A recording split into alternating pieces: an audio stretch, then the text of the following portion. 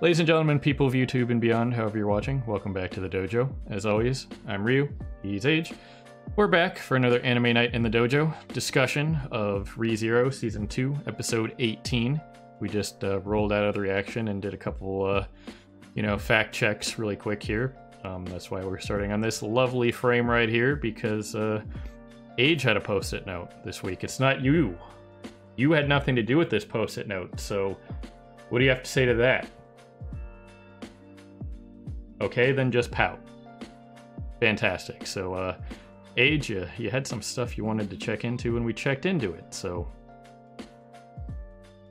Yeah, I kept bringing it up in the previous episodes that I was I was racking my brain for was that I could have swore we saw this hallway here in the previous episodes and we went back and we confirmed it and yeah there is in fact a hallway that's almost identical to this in the manor meaning there is most likely some form of either seal or trial or something witch related in the manor itself that we haven't got a chance to see yet because as we went back and rewatched the scene, Subaru goes down the hallway, but he doesn't get to enter the final door before he dies. right, So we That- never actually see where that hallway leads. right. And that was, uh, for reference, that was in Season 1, uh, Episode 15. Yeah, like Um, right at the beginning. right at the beginning, um, where Subaru comes back and finds uh, the manor just like toasted, and then he walks past uh, Rem's body. Or no, this was behind. It was like classic Scooby Doo, right? It was behind a bookshelf.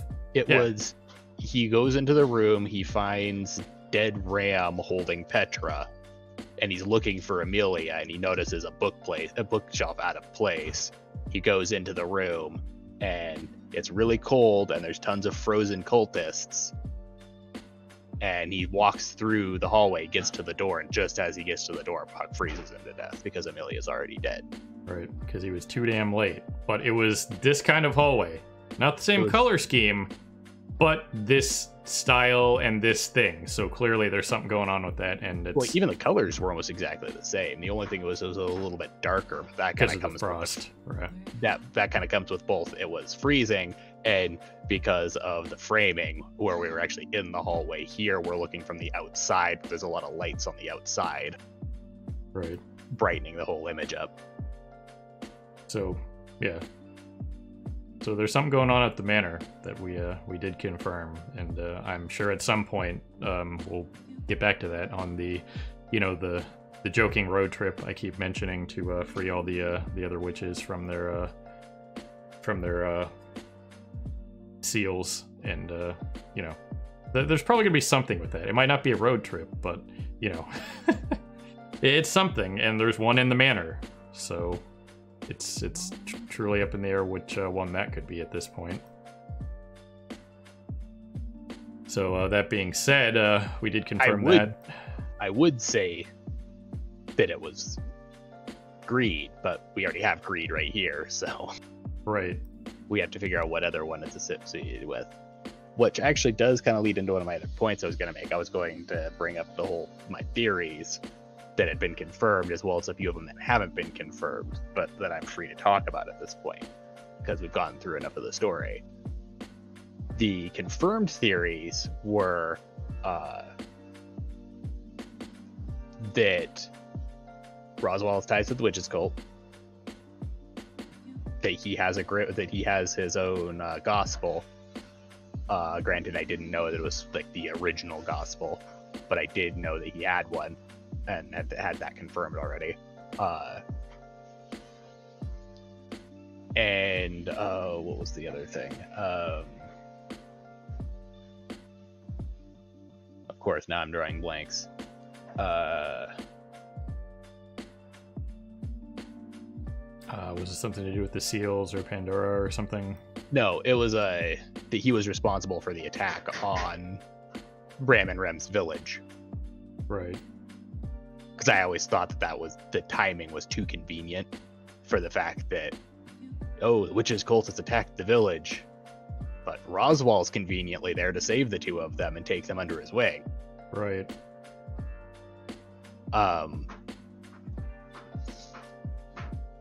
the unconfirmed thing about Roswaal that still hasn't been resolved yet, and I have avoided getting confirmation on, is which could be still a thing, but is less likely at the moment with the stuff that's been happening in this season relating to him.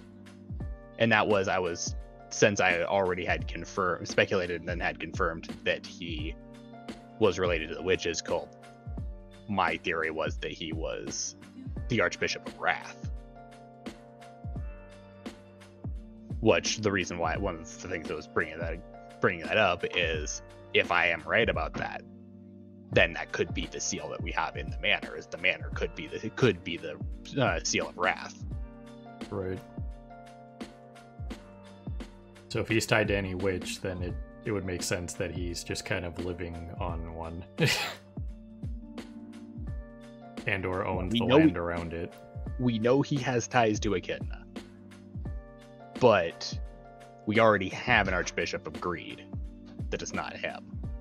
So it's possible he has ties to multiple witches because we've already seen at this point examples with, I mean, just Greed himself this episode that uh, the Sin Archbishops do interact with other witches outside of their own witch.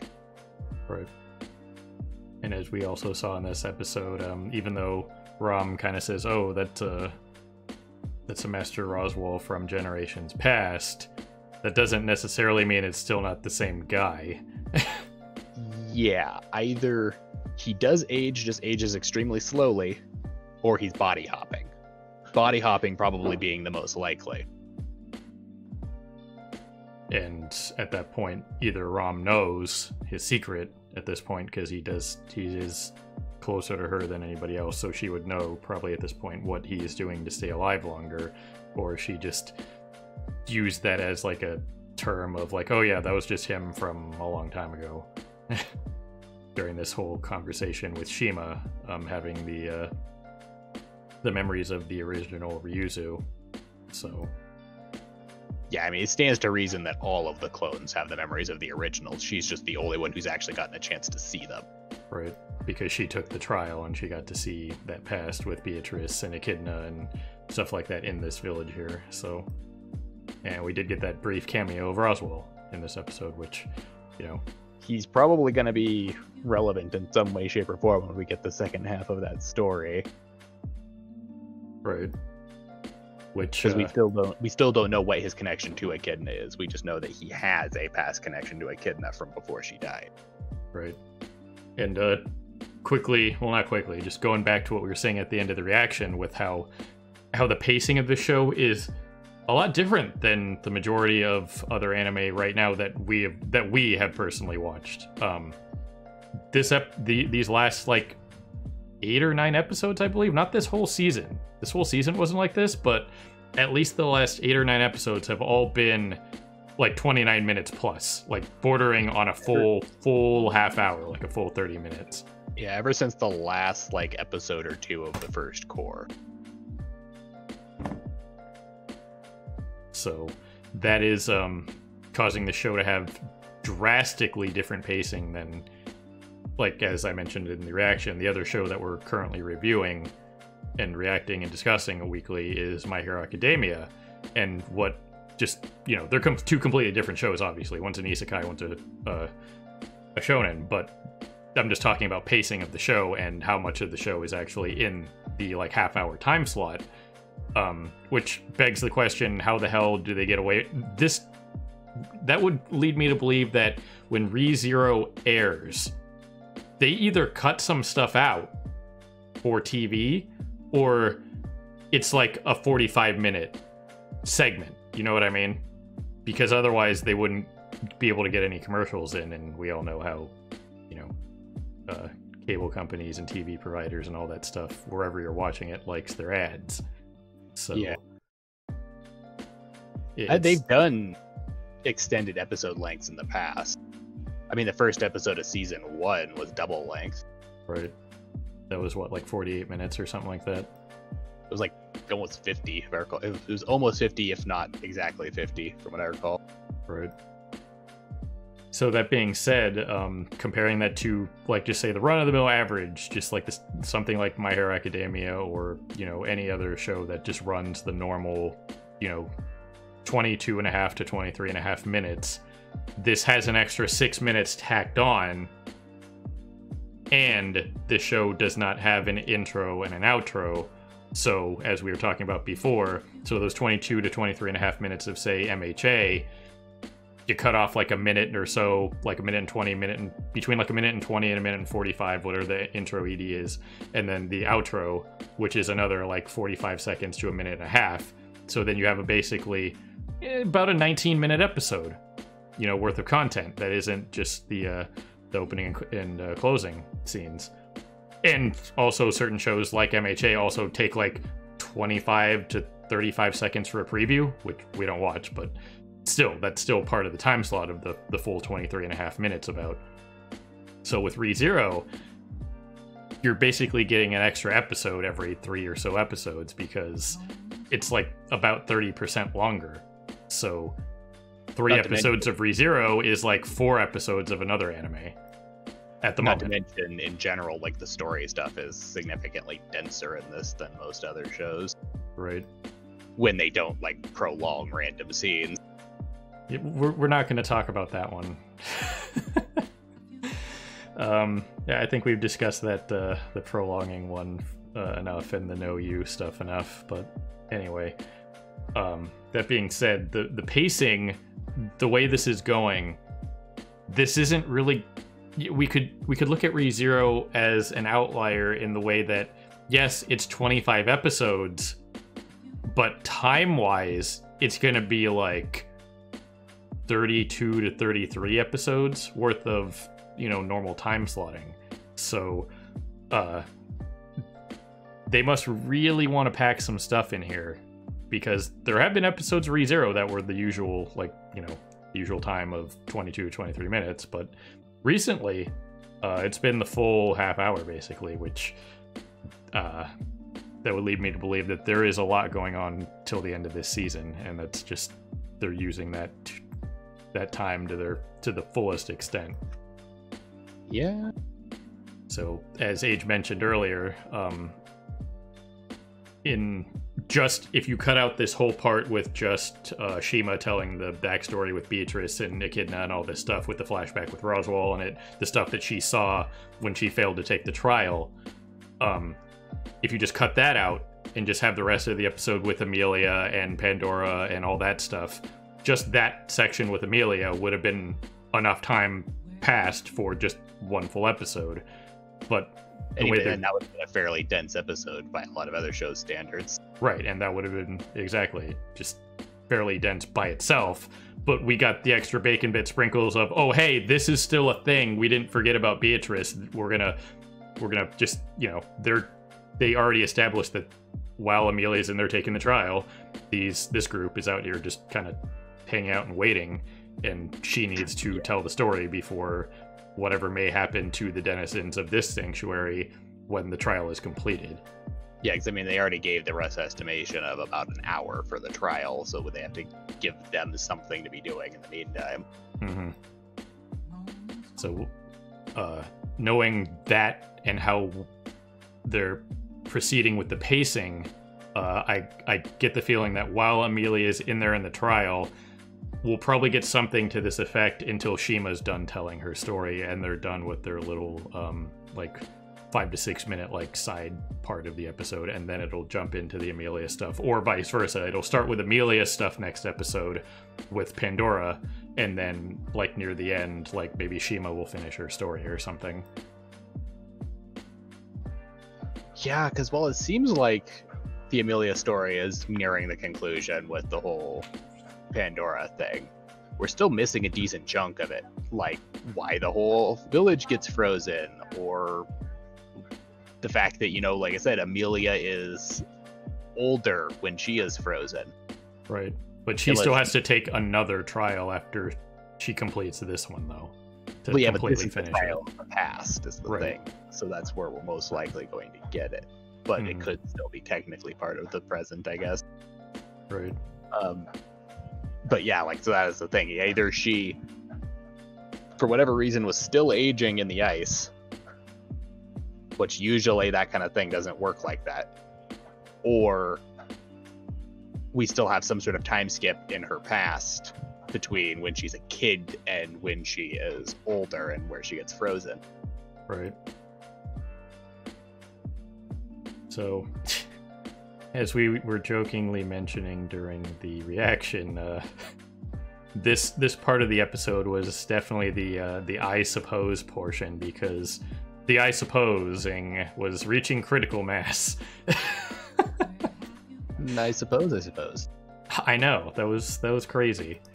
So we got a little insight into you know when the Echidna lived in the village and what was going on with Beatrice, um, whether she's what she said being no, I am your daughter, Lady Echidna, but you know that could just be like an adoption thing like age mentioned or um if she's like some sort of like proto like uh created spirit not like a naturally forming spirit that kind of thing it could be one of echidna's experiments yeah, like I said, that's my most. There's still plenty of ways that could go, but that is my most likely like theory slash idea is that she's some form of experimental, like artificial spirit that Echidna created, and therefore she's her quote unquote daughter. Right. Because Echidna basically said, or straight up says, you know, oh, you're not my daughter, but you know, she may as well be. She says, she says, something like a daughter to yeah, me. something like a daughter. And then uh, Beatrice chimes in of like, "No, I am your daughter." Mm.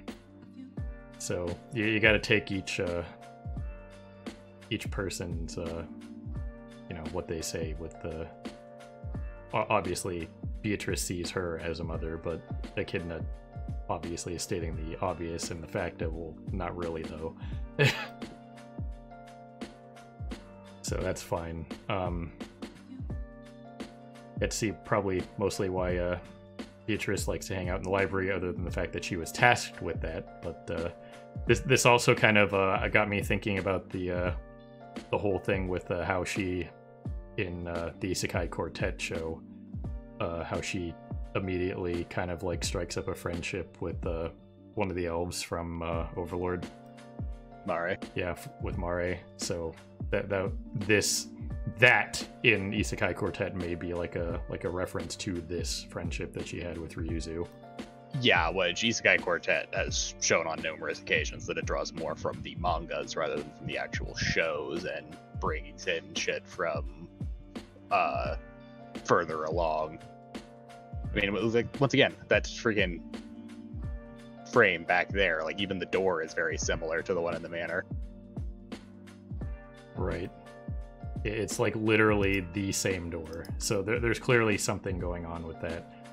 Be- besides Subaru's terrible, you know, handwriting all over the place. oh man.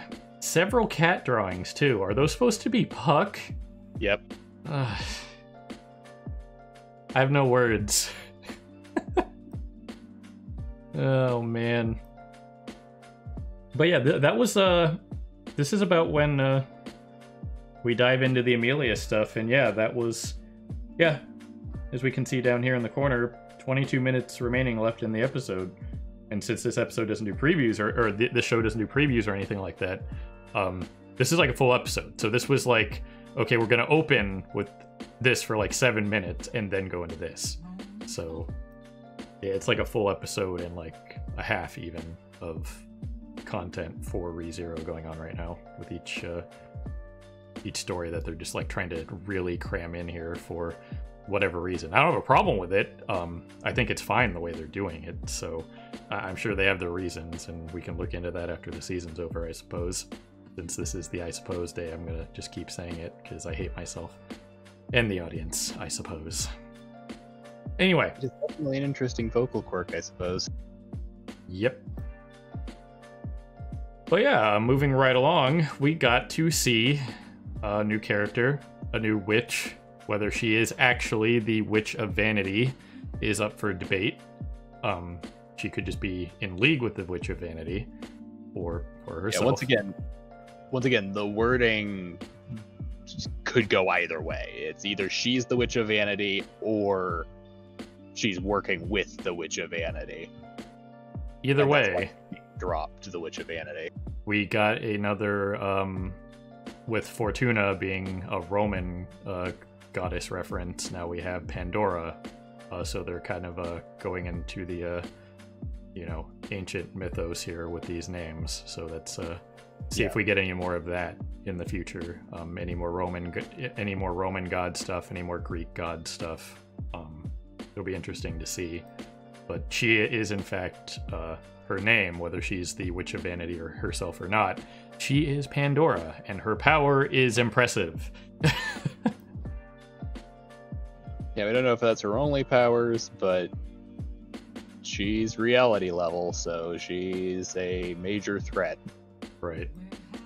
And we uh in this episode we got to see uh how uh Geuse uh decided to take in the witch factor, which apparently you can just you know carry around in a box. It was some sort of like sealed box of some sort that he had uh, on him. Because he. It seems like at this point in the past, there was an established. It wasn't like necessarily the witch's cult, there was an actual established like witch church that Right. they're talking about. they did Yeah. distinctly use the word church, not cult. Yeah. The only thing is, though, they didn't specifically state, oh, no, it is the witch's church, so it could technically be a different church and not the witch's cult.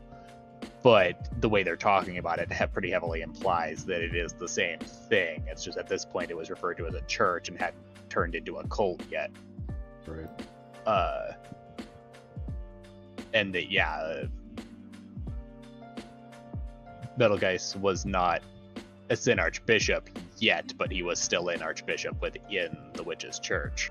Mhm. Which, uh, circling back around to the spirit stuff, um, Greed here does refer to uh, Betelgeuse as a spirit. Yes, which we already see, and that even since this is confirmed now at this point, before he becomes a Sin Archbishop, that he didn't age prior to being a Sin Archbishop. Mhm. So that does leave credence, leave credence to the idea that he has been a spirit this whole time. Right. So we now have like uh, at least two confirmed like humanoid spirits, whether you know Beatrice is an actual spirit or like an artificial creation of uh, Echidna.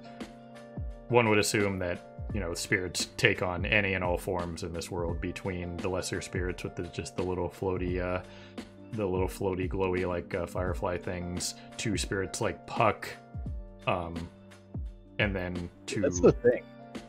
We haven't really seen very many greater spirits at this point. It's, most, it's just been like the lesser spirits, which look more like wisps. Then we have Beatrice, Puck, and now Betelgeuse are the Mhm. only like three major spirits that we know of. Right. Because the rest of the uh, animalistic creatures in this are either humanoid or they're mabeast. So, Yeah, it's either they're they're either the magical beasts, uh, mabeasts, or they're demi-humans, which are just humans with uh, animalistic features and slash or monstrous features. right. So there's definitely a, a bunch of lore that needs to be dropped here in the future, but I'm sure they'll get to that because they're they're doing a very solid job at uh, you know cramming a bunch of stuff. I don't want to use the word cramming because that makes it sound bad. Just you know dropping all the uh, stuff that needs to be said for the show, which is good. Um, and I'm Yeah, like- I'm fine with this pacing. It it just like I mentioned before, it's just a little weird, like reviewing and reacting to an episode that is you can distinctly feel it because you know you, you watch something like this and you talk about it for a while and then like either later tonight or tomorrow when we record my hero academia like i've mentioned the last couple weeks it's just like you know when the ed pops up for mha i'm just like wait it's over already what the hell like Deku's just like mid rant and then it cuts to the end thing. I'm like, wait a minute, don't we have like five minutes left at least? What's going on here? it's like, no, no, no, this is over. Yeah, compared to this show's extended runtime and overall density, MHA, like, no, like even freaking RWBY's shortened runtime with the sheer level of density in that, MHA still has a hard time comparing. Right, like that super dense episode. We had we had several super dense episodes of RWBY this season that we discussed. I was just like we came out of that and that was like a 19 and a half or like a 21 minute episode the one where uh, penny fights cinder. And i was sitting there i was just like that was like two hours right? That was some serious pacing. And even this like we know going in we can see it you know uh, just the runtime on the player. It says 29 minutes 29 seconds but even then it like i look down and it feels like more than half an hour based on the pacing. It's just like oh do i have to it's like just finish lunch uh, do i have to go make dinner now? Because that was that was a long time wasn't it? No? Just just 30 minutes huh? Okay.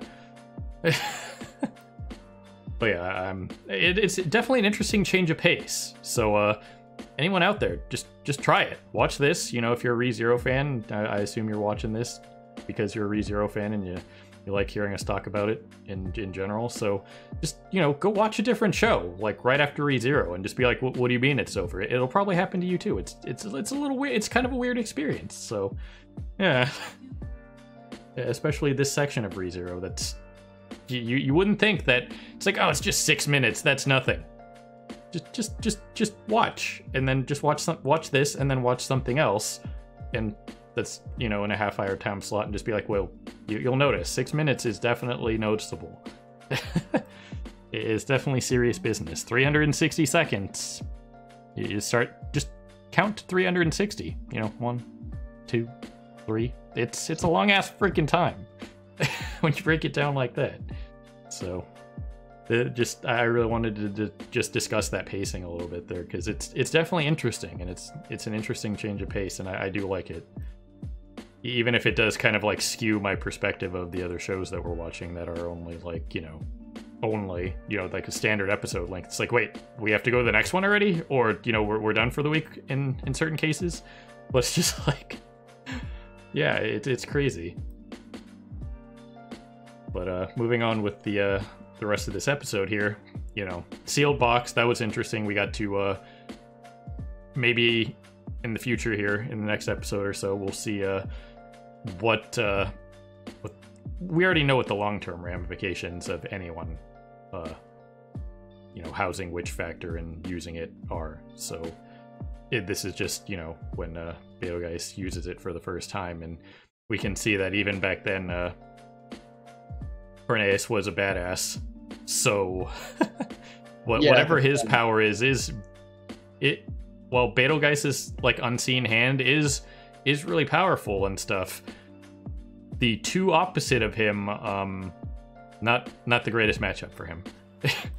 they both have methods of just nullifying his attack because Pandora rewrites reality to negate things, and then it seems like Corneas's power is essentially uh, manipulation of kinetic energy, so he can basically just you attack him and he can just say nope that doesn't have kinetic energy anymore so therefore it doesn't do anything to him. Right. And even if it's something that he can't see with his eyes as we saw as the fight progressed uh he was able to basically anticipate what uh Betelgeuse was doing so he was just blocking parrying everything as opposed to just getting grabbed and tossed. Um initially because you know he didn't see the power firsthand but it's obvious that he's very adaptable and once he's seen something and knows what it is in this case an unseen hand uh, he can just deal with it because it does still have kinetic energy you just can't see it. So uh, that aside two very powerful characters. We knew uh, he was very powerful to begin with because we saw him at the beginning of the season and uh, pandora is reality level. So we'll see uh, probably more of her, obviously, in the next coming episodes, as we saw at the end here with uh, Emilia showing up at the seal of the big, creepy uh, black sealed door. And uh, she was already there. So, yeah. We're, uh, we'll definitely be seeing more of that. Um, since Echidna did like just you know, Ghost of Christmas passed them away from what was going on with Fortuna and Geuse. Um, I doubt we'll see what happens. Uh, the resolution of this uh, fight, fight or discussion that they had with uh, Pandora. So it's it's just up in the air. Um, obviously, uh, if you know, we, we know we've seen Fortuna frozen, so she has to survive survive that encounter, and obviously the Big B survives because he's around when Subaru is around, so he's just different. And Yeah, he has, he, he has to survive long enough for Subaru to kill him. right. so uh, obviously both of them are survive that somehow. Um, maybe she just rewrites it and just you know pieces out and shows up where Emilia is, and that's uh, That's more or less what I assume is, is she's just basically going to sit there, continue. She's going to continue monologuing at them, and then once she's feels like she's said her piece, she's just basically going to rewrite them back into the village and herself at the seal. Right. But uh, I guess the other thing we can talk about really quick here is uh, Archie. We've discussed our theories on whether Puck could be, you know, Archie, could be Fortuna, could be anybody, but those two are Yeah. probably the likeliest candidates because we don't know how exactly spirits are naturally formed. And say whatever happens to Archie with this mabeast, he could his spirit could come back in spirit form as Puck. So Yeah, so we don't know about whether or not like people can become spirits. The only things we really know is that spirits are beings made entirely of mana. And that one of the methods for greater spirits to become a thing is if a lesser spirit becomes strong enough, it can form its own personality and become a greater spirit. right. But apart from that, we don't know anything really about greater spirits and how they can possibly be created or turn uh, turn from like a uh, like a person into a spirit. Right. But we did get to see the last of Gluttony's mabeasts, the uh, the great serpent that has a uh, well, it has a very uh, interesting. I mean, it's a serpent, so it's poison. Um, and as Age mentioned in the reaction there, uh, it's probably soul based. So as we see, uh, Archie does sever the bottom half of his leg there, and uh, you know has enough time and plot to tell Emilia to run. And after she leaves, he gets completely engulfed by the poison, which we don't know what it does, other than we know it's bad enough for him to sever a limb for it. So, It is Yeah. also worth noting that while it's referred to as a serpent, it more or less just seems to be a mass of tentacles, and uh, he didn't get bit or anything. He literally just got cut by like one of the sharp ends of the tentacles. right, We saw no discernible like actual head or bite or anything. right. So it could very well just literally coming in contact with the serpent itself is poisonous. Yeah, it just kind of looks like a, a grayish blob in this slot, in this shot here. Blackish blob. Just like a writhing mass of, you know, could be a typical like slime that just kind of like attacks like a serpent in a way. So maybe that's just why it was uh, referred to as that by Gluttony. Because that was a very serpent-esque strike that it uh, made on Archie there, so but maybe it's just kind of like a, a misdirection other than actuality. We might see its actual full body at some point here in the next couple episodes, but The yeah, the titles of the different gluttony mobbies themselves are inherently misdirecting. I mean, the white whale had numerous things about it that very much don't denote it just being a white whale. And also, the great rabbit is actually a collection of rabbits. It's not a singular rabbit. right. So yeah, we uh, I think we pretty much covered everything we had to here. Um, I got The- I got nothing else personally. I, I want to talk about the pacing. Um, you know, maybe in the future we'll see more uh, Roman slash uh, Greek mythos, uh, just named characters, because that seems to be like what they're kind of establishing here. Uh, They introduced Fortuna, uh, the Roman goddess of fortune, and then Pandora. We all know who Pandora is from Greek mythology. Um, Yeah. Pandora's the big question mark right now. Is she vanity or not? Uh, what is her actual affiliation to Together Witches? Like, we know she's at least big within the Witches' church, enough so that she can order archbishops around. But at the same time, she's also. At the same time, granted, he was angry, Greed still was willing to turn and attack her. Right. Which, as we saw, she was turned into a fine red mist, and, uh, you know, she's back, stuck him in the ground, and rewrote him to be with his. back at the manor with his wives. Okay. he was never here. He was never here. He was he he was just doing harem things, so may, maybe that's why he's so mad. He's away from his harem. I mean, he's greed. You think he wouldn't have a harem? Right. I mean, you know, just like uh, the greed from like Full Metal Alchemist. You know, the thing he said he wants it all. You know, money, women, you know, all, all of it. So you would assume that a Sin Archbishop of Greed would have a harem. Just just saying. And if he didn't yet, he'd be trying to get one. Right. so, yeah, going into next week, uh, you know, maybe we'll see the conclusion of that encounter with uh, Pandora. Um, because obviously Emilia was there when they ran away and knows that Pandora is a threat.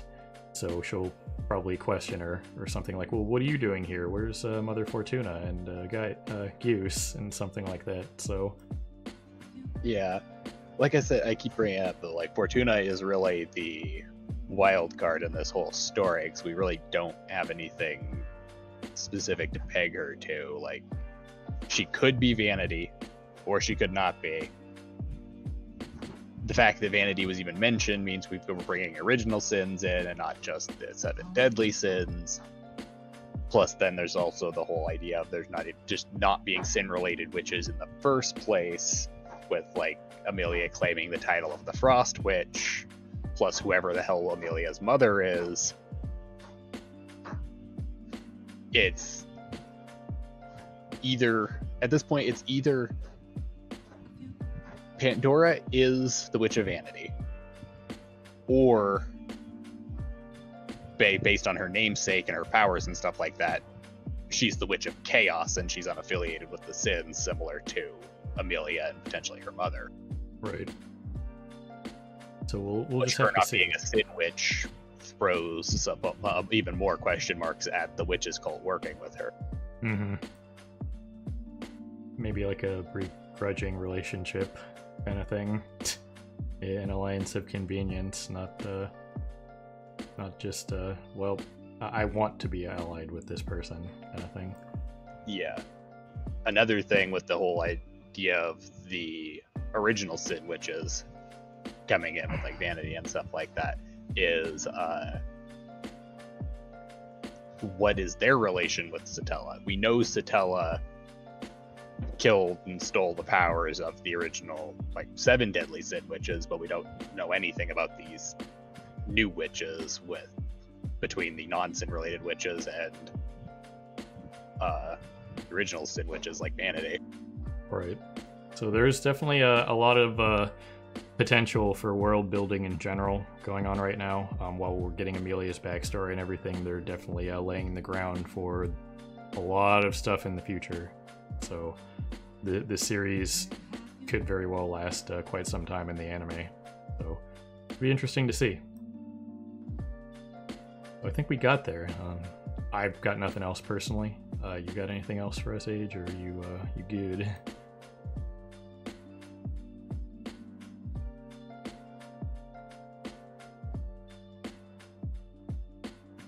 No, not that I can really think of at the moment.